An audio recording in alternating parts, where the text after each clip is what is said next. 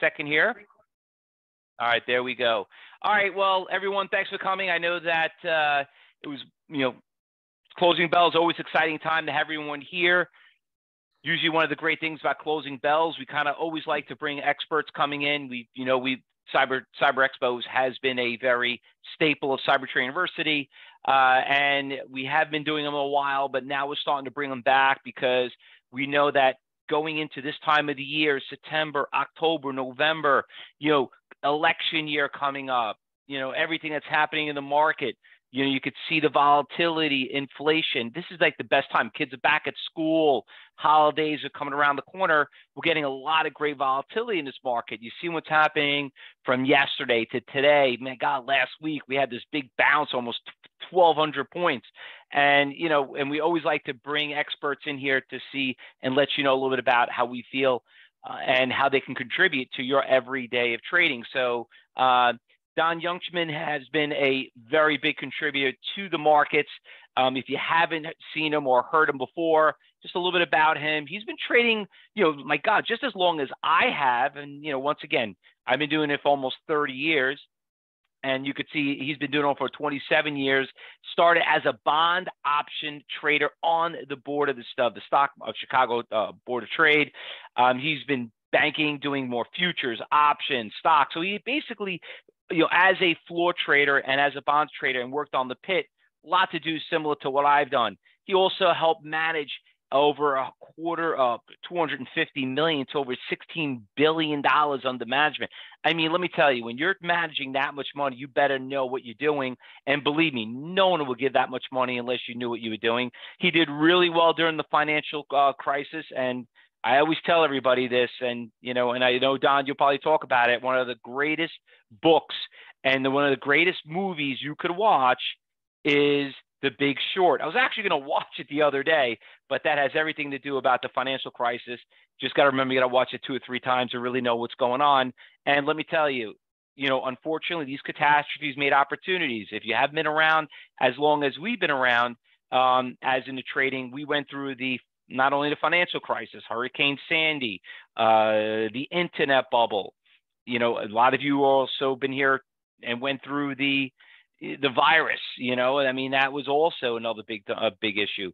But once again, if you could survive through those, you could survive through everything. So don't want to talk, uh, take too much away from time from him. He's going to talk about about 45 minutes, tell you about his thoughts about what's happening in the market, how to perfect and help you to be a better trader, which is why we have him here. So uh, let me pass the mic over to, to him and he'll take over. So just want to do a quick audio check. Don, do you hear me okay? Sure do, Fausto. How you doing? I'm doing good. I'm doing good. Thanks for coming here. We're looking so forward to having you. And you know, and the traders here are very active in the market. You know, they trade every day. Some of them, some just work part time, just like we always tell them what to do.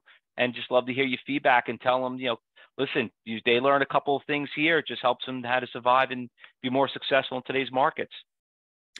Yeah. Okay. So, um, uh, yeah, you know, I'm just curious what, uh, what, what's, what's on you guys' mind and what you, uh, what do you think you'd, uh, what's on top of your mind here in this market, Fausto?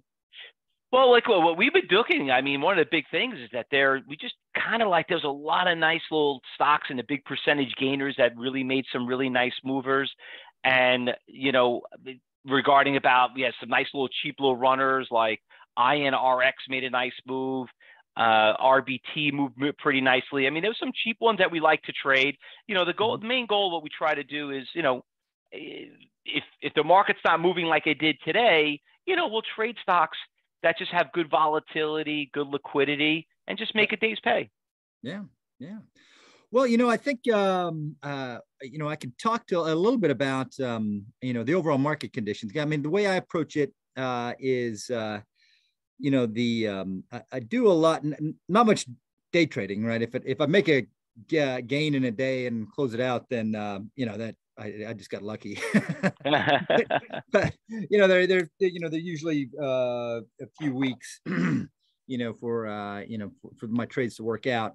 Uh, but um, you know we've got uh, the, the, big part of, uh, uh, of, of, of, what I fold into my trading. And I use, you know, some, I use a, a, volume profile, basically just kind of time my trades and, and see when things are getting set up.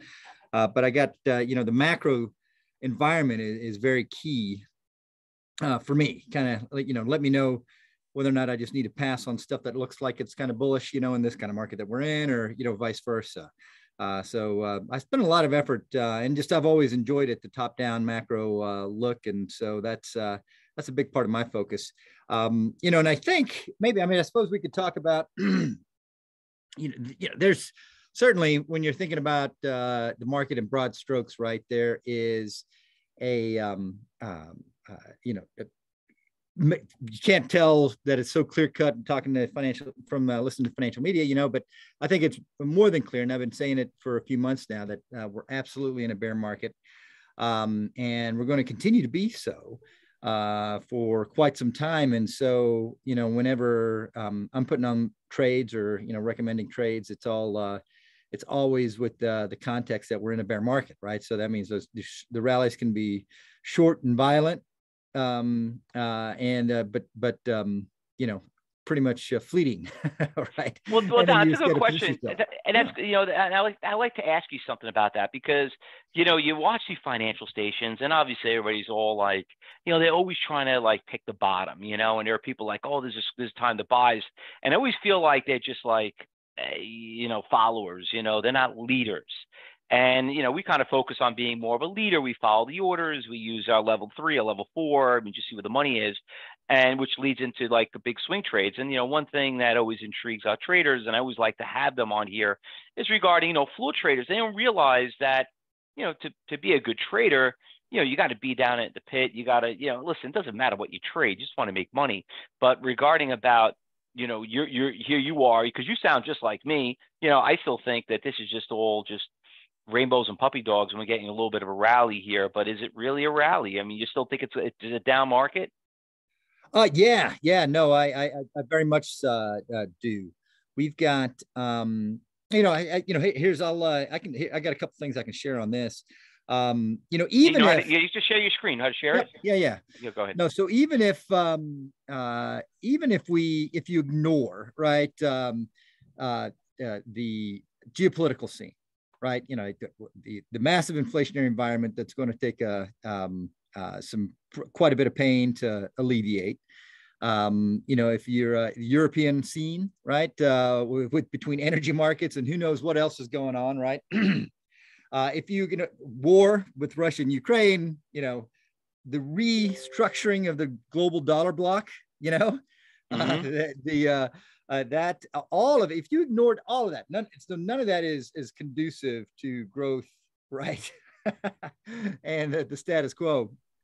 But even if you ignored all of that stuff and just um, uh, uh, focused on the fundamentals in the market, I'd still th- uh, we we would be in a bear market and we would still be in a bear market. And you know, it's really comes down to three things, right? And um, uh, you know, it's it's what we're doing is the, the bull market that we have experienced since 2008, well, 2009, um, is a, uh, in large part, right? Not that it's not the only thing, right? I mean, they did uh, shortcut the downside in the economy with everything that they did, right? I mean, instead of, but, you know, they also let losers limp along for the next 15 years, right?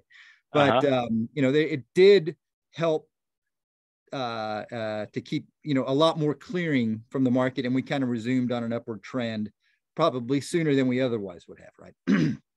so, and there was there's definitely been you know uh, growth and innovation and all that stuff driving earnings um, over the last 10 years, but most of it has been uh, led by you know all this consumption driving earnings, and that consumption was a result of all this massive stimulus, right? That we prop that we uh, pumped in the economy, uh, and that has had three big that that created three massive tailwinds for stocks, right? So the first thing you you know you've had this you know this mantra, and you guys have seen stuff like this, and you know, and I'm I'm just kind of quickly go through it.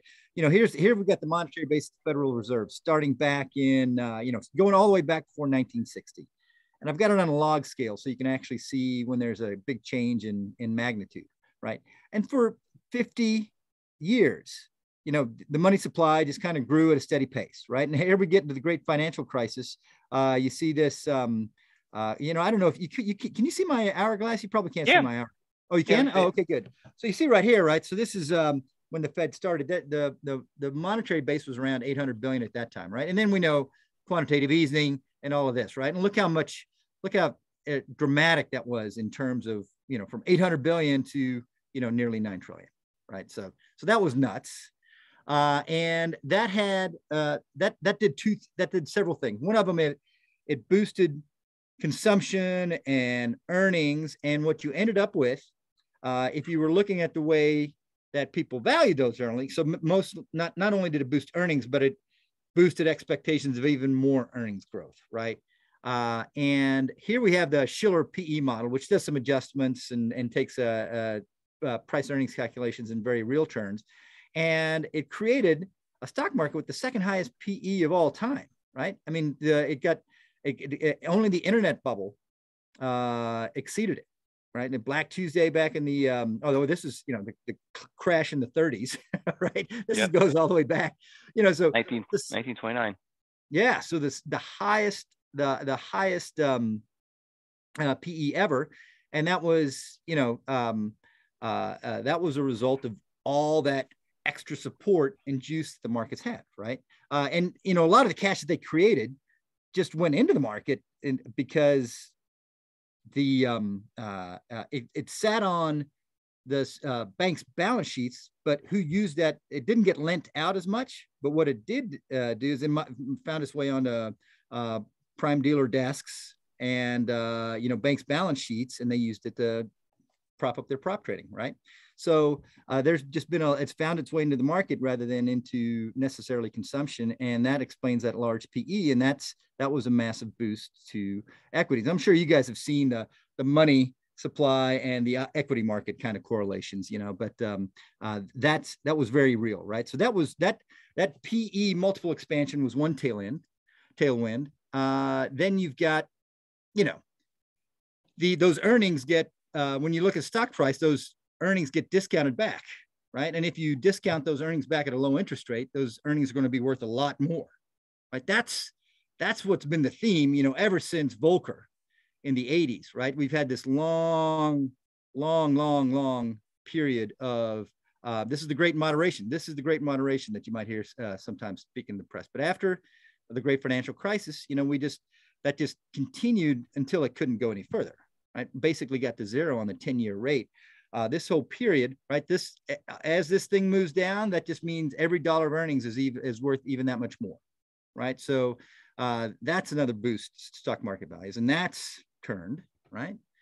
Uh, and then finally, you have inflation, inflation expectations. Here is inflation expectations measured between the difference between regular bonds and uh, uh, TIPS, inflation protected bonds, right? So you can you can tease out the market's expectations for inflation over different time periods. And those expectations stayed very stable, you know, or low, right? I mean, they, they dramatically dropped during the great, uh, they dropped dramatically during the um, great financial crisis, but they stayed roughly around 2% or so, right? And then, of course, that's changed.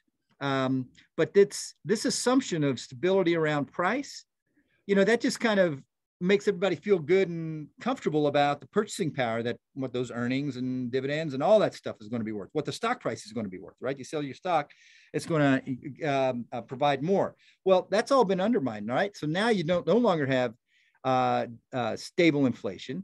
You no longer have falling interest rates, and you no longer get that tailwind of boosting earnings from uh, free money, right? So that's mm-hmm. got to that's going to reverse itself and that's all working in reverse. And so it's those headwinds, all those tailwinds are now headwinds. And that's what the market is um, ultimately going to be is fighting against. Uh, so that's uh, yeah, that's kind of where I think, um, and that, that that's where I think we are. You know, I think that's what we still got to deal with. So how much how much low? I mean, so what's going to take for it to come back? Uh, well, for those headwinds to turn around, right? You know, to, and that's, you know, we could be, you know, and when you say turn around, right? I mean, there's, there's this um, assumption that, you know, once, once everything's okay in the USA, uh, the equity markets are going to go up 10, 12% a year on average, right? And that's what, when you look at long-term expectations, and if you look at basically the post World War II period, that's kind of what's well, definitely at least from the uh, towards the end of the 70s. You know, the 80s, 90s. You know, for this century, um, those have been rewarded, right? That that those kind of assumptions have been rewarded, and that's mainly because I'm sorry, it's mainly because of the Great Moderation, right? From Volcker into the Volcker cramping inflation. This whole period in the Federal Reserve opportunistically lowered interest rates and, and managed inflation. Um, this that was a that was a 30 year process, you know, 40, I'm sorry, 40 year process. Um, and you know, this the assumption that stocks are always going to just once we get through this and they're off to the, to the races again. Um, I don't know that we'll we may not see that again as long as you and I are trading. It's it, it doesn't mean that stocks you can't make money in stocks, uh, but this passive only. I mean, just look at all the things, right? The the last the 15 years, the move to passive investing is just been completely mindless, right? And when you're investing passively, you're not paying attention to anything, right? Right. Uh, and um, uh, that's not going to be that. You know, close your eyes and buy. That's over. Uh, uh, int- uh, declining. Int- we we can't lower interest rates for the next forty years, right?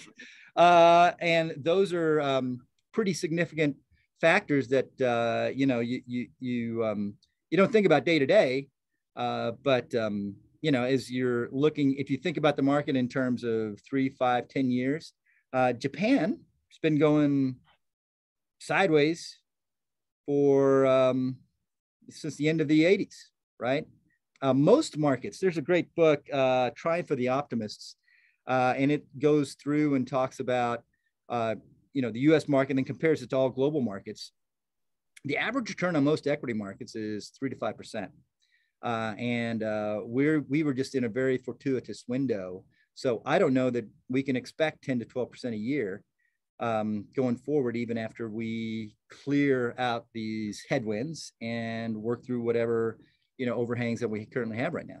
Yeah, but Don, do you think it's a whole, or do you think it's just certain industries, certain you know, certain industries and certain stocks? I mean, oh, you know, yeah, no, that's just no. It'll be uh, so it'll be a challenge for everyone, right? Capital will be will be more um, harder to come by, uh, right? So projects and and raising companies raising capital will have to prove a higher uh, return on investment. The, the the bar is raised on everybody for raising capital, right?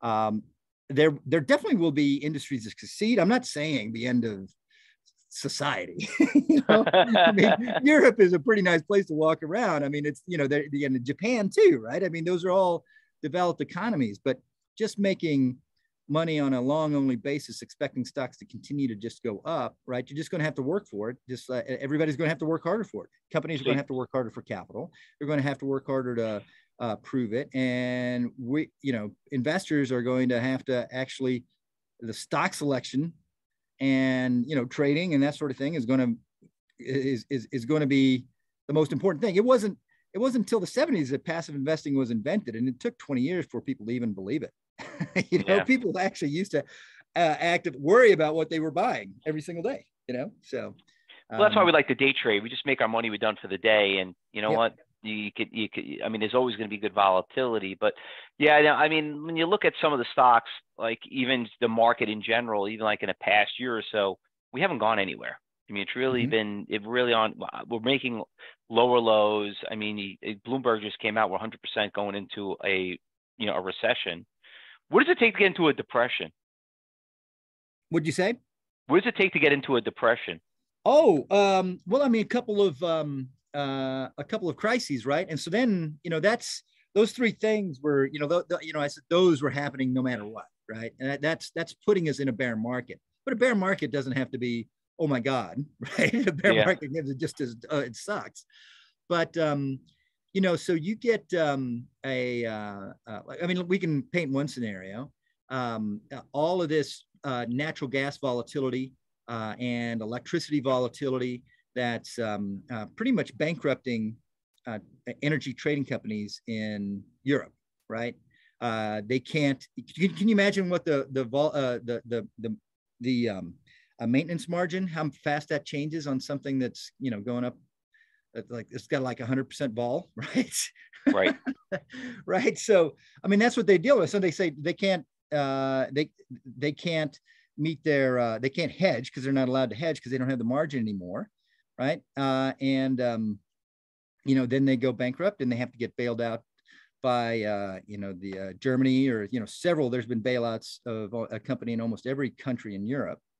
Um, well, it's not like that is immune from the banking sector, right? So um, you can have like what we had in uh, in England with their uh, pension, the the UK pension fund, uh, public pension fund. Uh, they put on some hedges to kind of lock in their liabilities at the highest level as they could. But you know the hedges and those liabilities are their pension li- uh, obligations. But the hedging that they did uh, was mark to market day trades, plus some structured products that banks and consultants sold them. Sounds risky though. yeah. But you know, that's what um, and that's what caused the massive scare two weeks ago, right? Because they had to, uh, that uh, those um, those hedges needed cash, and there's no cash in a pension plan, right. so you can't. So so they had to be bailed out by the Bank of England, uh, and uh, you know that now those kind of uh, you know, it reminds me of, you know, Bear Stearns. I don't know that how many people actually remember that Bear Stearns was a thing in 2008. I remember like yesterday, I remember trading that stock. I was in, I, I mean, some of the biggest catastrophes I remember. I, I was in, I, I, was actually in Arizona doing a coaching class. One of my students yeah. uh, went to go train him down there. And I, I mean, I'd never seen things get crushed so bad in like three mm. days. Yeah. Things just like, and we made a fortune on the way up on the bounce, but that only yeah. lasts like a day. Yeah, well, the um, the um, uh, uh, the the prime, you know, so they, they are lending money to the street, right? They're lending money to all the hedge funds, right? And uh, it all those um, then the, there's one big margin call, right? They they don't have enough money. They have to start calling in money. Everybody then has to sell things, and you just get this cycle, right? So Bear Stearns was bad, and it was a first indication, but it wasn't really the the thing. People remember Lehman, right? That was that people remember Lehman, but Lehman was caused by Bear Stearns, right? And all the knock-on effects that uh, that occurred from that. And so, uh, and that's when what the you know con- contagion, just like the Asian financial contagion in '97, right? Uh, you had LTCM, long-term capital management. Uh, they had all these relative value arbitrages going on uh, that they thought were locked in sand. Um, and then the currency started to go the wrong way, right? You had this Asian financial crisis. LTCM went bottoms up. The Fed did its first bailout, right? and that was that didn't that didn't end up being um, as long term, right? But those things can lead to another thing. And and you know what uh, what we have is uh, they the, they've taken the risk off the bank's balance sheets, but then now they put it on the central bank's balance sheets, right? The regular banking industry has lowered their risk from the great financial crisis, but um, you know that's sitting now on central bank balance sheets, and uh, they are in a really tough position trying to um, uh, you know manage the inflation that they created, uh, while at the same time they've got these massive balance sheets with all this risk on it. So it could be any number of things. I would and I wouldn't be surprised to see it start in Europe, and that and that you know crush that that takes out demand, and then it becomes a self fulfilling uh, or a self-feeding cycle on the downside and it could be depression you know? Yeah i'm, I'm definitely not ruling that out of um, you know out of the scenarios and you know i'm going to trade it either way. Uh, but um, you know as far as looking at the big picture you know there's a lot of um, uh, there's a lot of stuff that got uh, funded over the last 15 years that nobody in their right mind would have funded 30 years ago right? Because money was cheap. Right. Right money's cheap and that's not going to be cheap anymore because now with the mm-hmm. rates i mean i've been doing this for a long time. I don't think uh, uh, same thing with you don. I don't think i've ever seen rates go up so fast the way they've gone ever. Well this yeah that this that, this tightening cycle is definitely uh i mean it cut you know we um my my wife's uh father passed away about a year ago right? And so he had this house and we um we were you know i'm like you guys you know if we need to sell this thing let's let's get it out. You know let's move well um you know, even after about one or two rate hikes, right, the price of the uh, the value of it, it, it, in in terms of the a mortgage payment, because that's what people buy, right? They buy a mortgage, they don't buy a house, right? And so for that same dollar mortgage um, payment. Um, uh, the value of the house went down sixty, seventy thousand dollars, and it wasn't that much of a house to, to, begin with, you know. So um, uh, you know, it's uh, that yeah, that's it's been very aggressive. You know, I think the um, and let me show you something. Let me share something else. Um, you know, where just to and and this isn't a I don't say this as you know a a prediction, right? Because I'm I'm looking at things with fresh eyes every single day, right? You know, I just hey, has has it changed? Has it changed? Has it changed? I just haven't seen anything that would uh, make me think it's changed a whole lot yet. But um, you know, if you look at here's the S and P. Uh, let me let me let me clear this up a little bit. Uh, here's the S and P. You know, going back ten years or so, and this is this is the the last little sell off that we've had right here. Um, now this volume profile here, this this this this this is what I look at from a um, technical level, and it just happens to not that I look at it over ten years, but what it does, it tells you how much volume there has been at different levels, right? So I can we can look back and see that there was a lot more trading back at 2100 on the S&P than there has been, you know, all throughout, you know, this the you know definitely the post-COVID time. Right? Do you guys follow me on that? Yeah, I see that. Yeah, yeah. So and then what if you look at this 10 year uh, level you know there is uh, these this um, in this volume profile there's a, a, a, couple of numbers that are key that it calculates this point of control which which is where the most volume has happened here. This is at 2056 and then this value area high which is the upper end of the um, uh, 70% of the trading right? So 70% of the trading volume over the last 10 years happened below 2905 so think about that, right? That's at least in the S&P 500 futures contract, right? There was the the trading of the last three years has been completely draw uh, uh, dwarfed by the trading of the, the seven years before that, right? So that's um, uh, uh that's just interesting. But you if you go back to like these 2015 highs, you look at this and then take this value area high, you know that's uh, that's 2900 on the S&P 500 and I know at the beginning of the year, I was looking at the capital base of the S&P 500, and it's like it equated to like $2,800, right? So basically, you know, in the, in uh, in a big um, uh, cleansing uh, bear market, you trade, you you get rid of the premiums in the stock price, and you basically trade down to book value.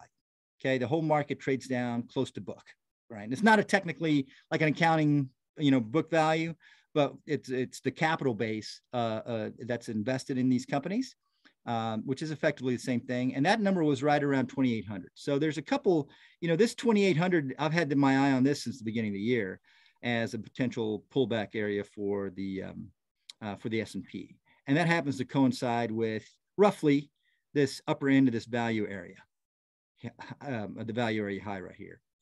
Uh, and that's that takes us back to what 20 uh, yeah, what is that? Um, 2018. But then, you know, there's another level here, this point of control, which, uh, you know, this this would be, you know, if I if I was ignoring the fact that I was looking at 10 years, you know, and just something a little shorter term, you know, this is a very uh, bullish pattern down here, right? Then when you when you see this kind of pattern and it gets into it, then you're like, okay, we've kind of really hit the bottom. Uh, but that's that's at around 2,000 on the S&P. Um, and that corresponds to a 2015 or a, a 2015 high. Yeah. So, you know, that's, I think that's not out, you know, that's not out of the question. Uh, and what um, people don't, you know, realize was the great financial crisis, which, you know, I think we've got everything um, that what we're looking at is easily as, as severe as the great financial crisis. Um, you know, that wiped out. Let me just show you here. This, so this is the, you know, 2008 going into the great financial crisis, 2007, you know, and this, so this was the peak 1500, which it also got at the uh, beginning at the, at the internet bubble, right? So it traded back up to that 1500 level and then it traded all the way down here to 666, right? I remember just buying right. Uh, EM puts on EEM right here. and um, the, uh, that wiped out uh, that took us back to 96. So from 2009, uh, you know, it wiped out um, 10 to 13 years worth of stock price appreciation. Um, and here I'm talking, you know, roughly seven years of stock price appreciation. So, you know, there's nothing unprecedented about it.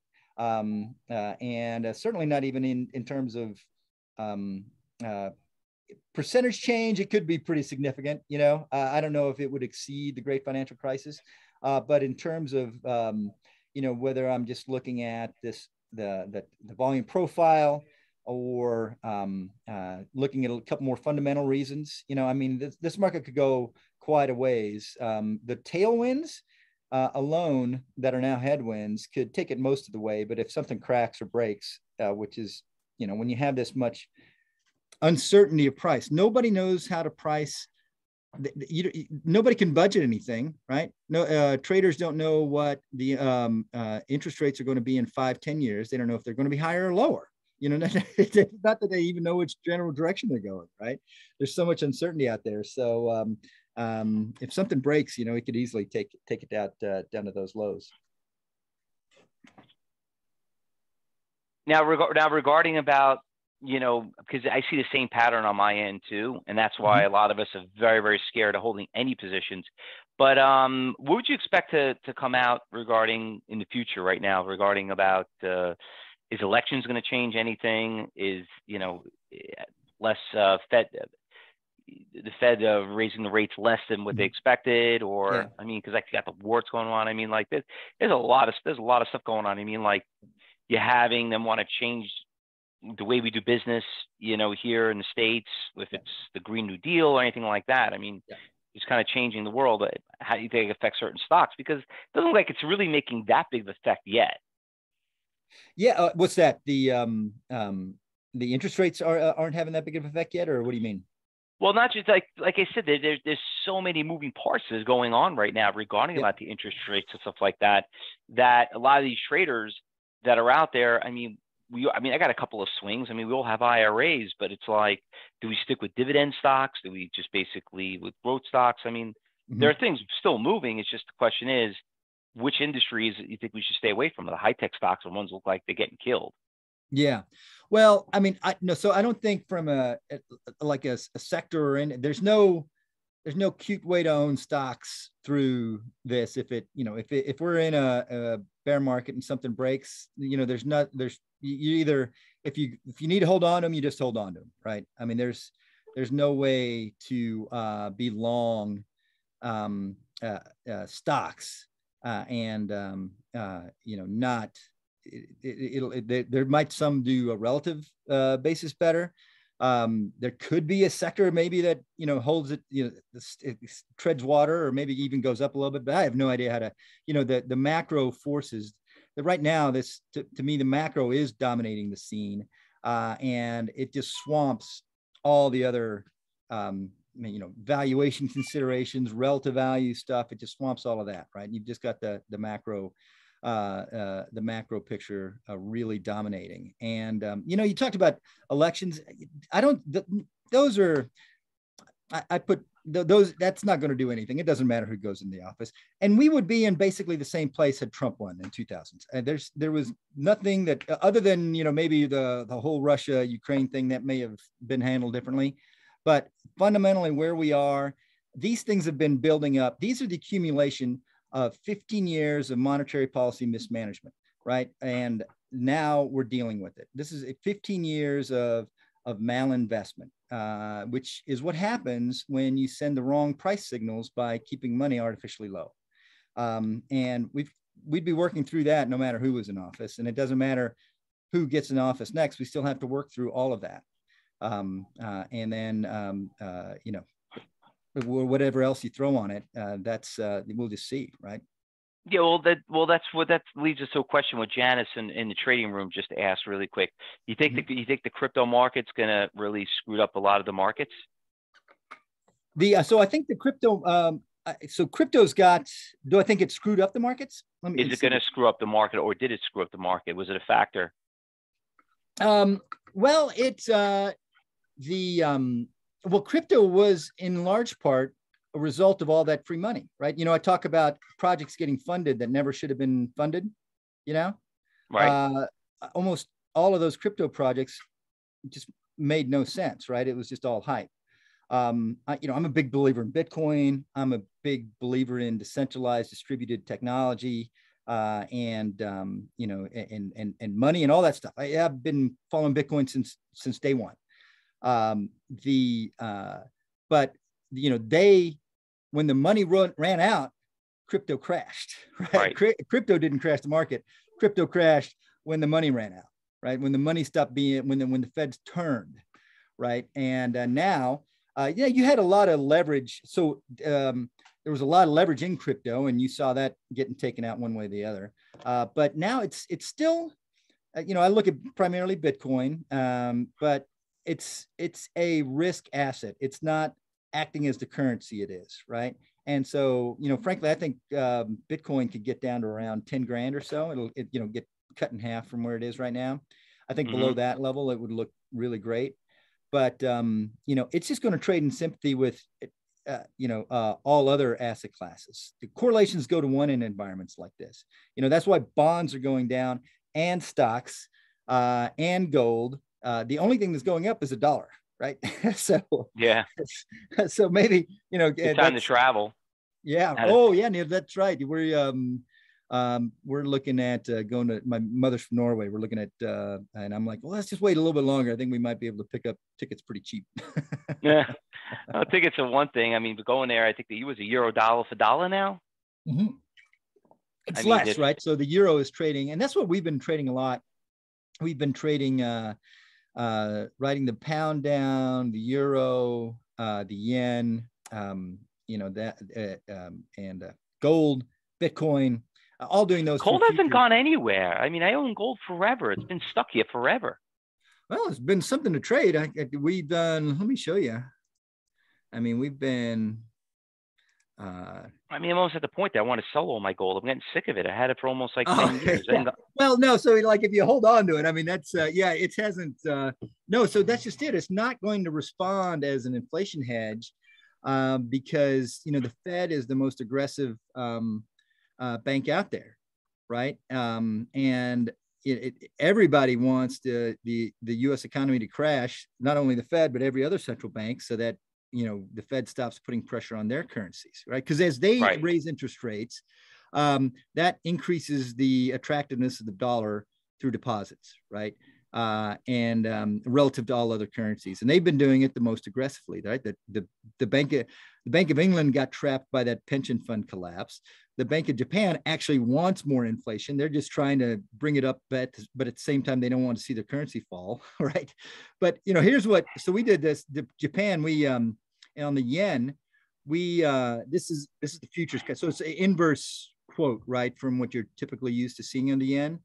But we did. Um, let me um, the um, uh, we've been short from wow, way way up here uh, and just trading this sucker down. And somewhere right, I think this was the intervention of maybe a couple weeks ago, that when the, uh, the the Bank of Japan intervened, and of course it just failed, right? So it just all those interventions, all their emergency measures, uh, all they, they are all just running square into inevitability and you know basic law of economics, which they try to you know they they want to violate day in day out um, and now it's uh, they're, it's it's they're getting paid uh, they're, or they're having to pay for it.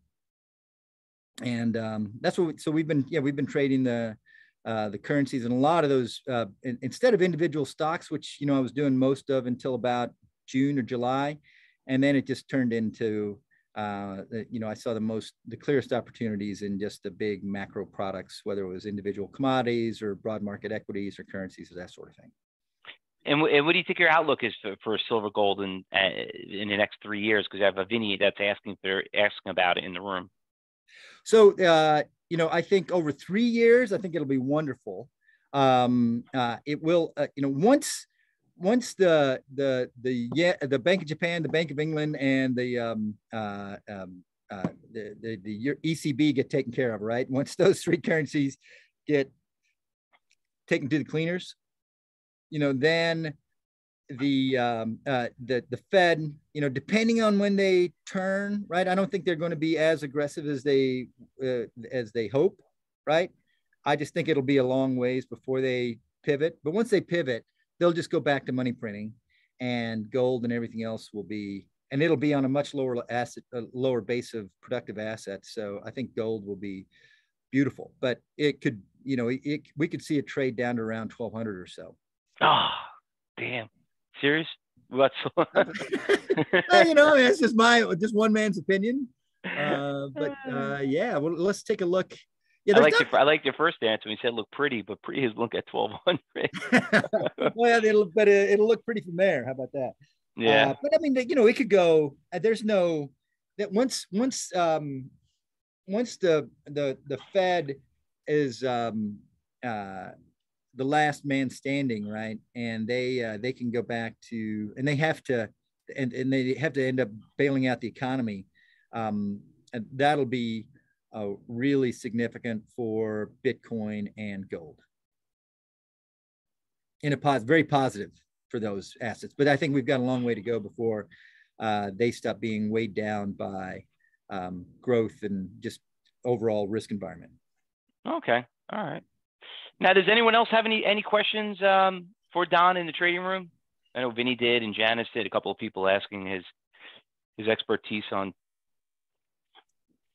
cause question. Do you think we need to get rid of the the the, the fiat currency? Oh uh, well, I mean, it's that's it, it's it's um when we need to get rid of it, it'll it'll leave or not. you know, it'll take care of itself.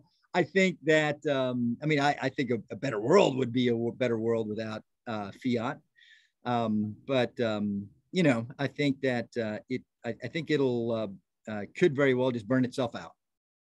All right. You know, it just could very well burn itself out. And, um, you know, I think, um, the uh, you know one thing I, would want to uh, chat with you guys. So you know, this you guys are traders. I'm traders. I'm always looking for ideas.